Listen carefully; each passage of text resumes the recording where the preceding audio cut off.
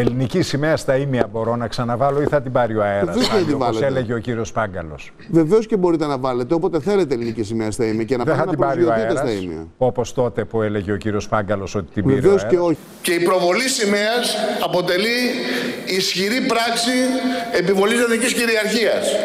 Όταν λοιπόν κάποιος παίρνει τη σημαία και την τοποθετεί κάπου, πρέπει να διασφαλίσει ότι ο ίδιος ή με ενημερωμένες ενόπλες δυνάμεις θα την επερπιστεί με το αίμα του μέχρι το τέλος.